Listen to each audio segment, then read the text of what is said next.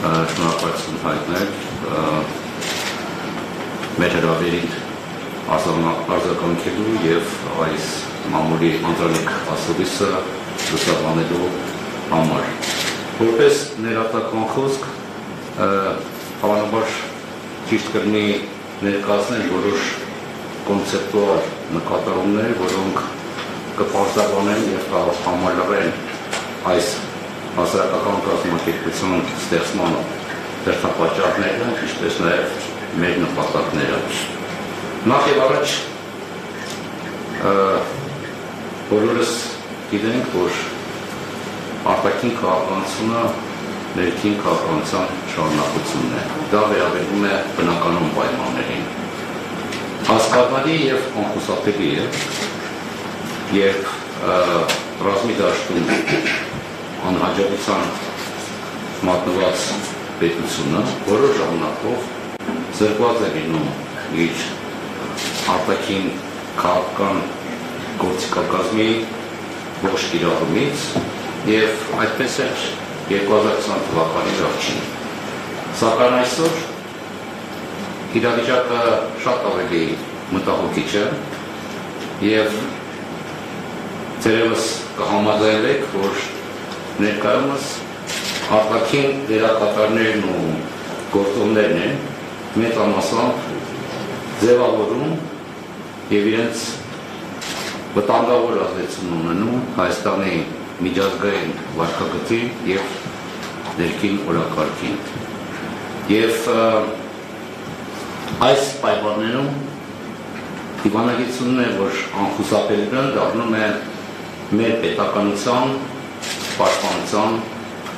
առանցքային բնակիցը եւ մենք որպես դիվանագետներ, որ կանգնած են եղել մեր արտաքին գերատեսչության ստեղծման անկունքներում, մեր ասելիքը ունենք։ Երկրորդը. Երկար տևական ժամանակ մեզ ասվում է, որ այն քաղաքականությունը, որ այսօր վարվում է, արտաքին քաղաքականությունը նկատի ունենք, չունի այլընտրանք, այլընտրանք պատերազմն է մենք գտնում ենք, որ կար այլընտրանք դիվանագիտական քաղաքական միջոցներով, որը հիմնված կլինի խորը վերլուծության եւ մեր մասնագիտական փորձի վրա եւ առաջիկա օրերին դիվանագետների համայնքական խորհուրդը կազմակերպելու է գրող սեղան քննարկումներ այդ օրակարգի ուրվագծերը ներկայացնելու մեր հանրությանը։ Երրորդը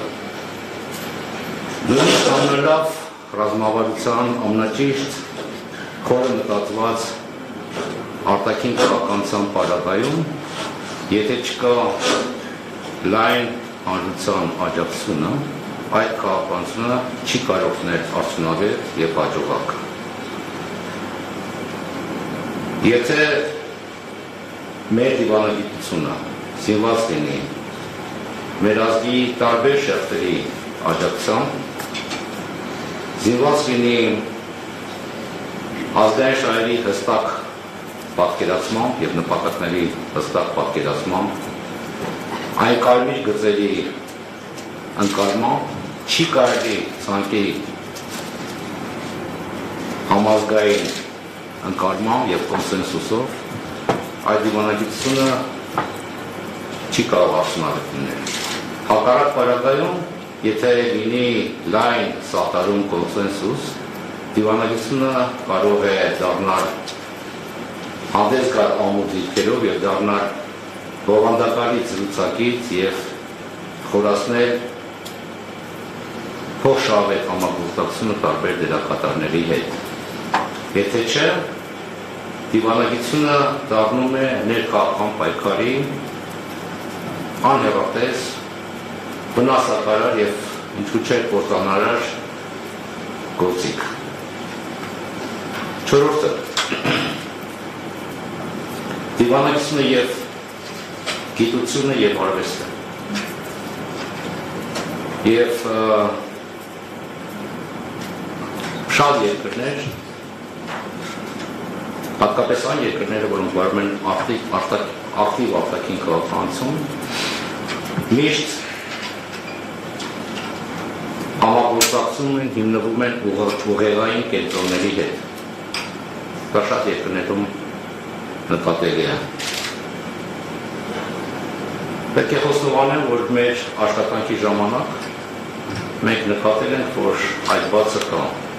եւ որոշ փակագծեր բաց են, փոքր գաղտնիք բաց են, որ մեր աշխատանքի ժամանակ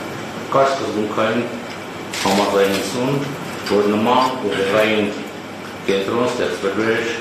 արտաքին գործերի նախարարության կազմում, որի մեջ կընդգրկվեին Հայաստանի եւ Սփյուռքի ամենաարժեքավոր մեր մասնագետները, այսինքն համախմբենք այդ ներուժը։ Հույս ունենք, որ այս հարցը կդառնա այդ համախմբող, միավորող կառույց, որ ավելի լավ ժամանակներում նաև կսպասարկի պետական գերատեսչություններին։ Վերցերորդը գիտեք յուրաքանչյուր միավորումի ստեղծումը ծնունդը իհարկե ուրախանալի առիթ է, բայց մեր պարագայում կյանքը ստիպեց այս կառույցը, կառույցի ստեղծումը։ Ճիշտ է, շուտով կլինի 3 տարի, որ մենք հեռացել ենք արտաքին գործերի նախարարությունից, բայց մենք չենք հեռացել դիվանագիտությունից։ Եվ այսօր համախմբված ձևով պաշտոնաթուղ դիվանագետները եւ ոչ միայն պաշտոնաթուղ դիվանագետները ուզում ենք ասել, որ այս միավորումը պատրաստ է իր խոսքը, ասելիքը ներկայացնել մեր հանրությանը։ Մենք տեսնում ենք, որ տարբեր մասնագետների խմբեր են ձևավորվում, հարթակներ են ձևավորվում եւ սա շատ ողջունելի է։ Եվ կարծում եմ այս միտումը կշարունակվի, որտեղ սրանով վերջ կդրվի մեր հանրության շարունակական եւ հետեւողական պարակման ու տրողմանը։ Դրանով մենք բոլորս սկիզբ կդնենք Հայաստանի հայ ժողովրդի համախմբմանը։ Ներկայից ժողովրդի սպառնալիքները հաղթարելու համար։ Եվ վերջինը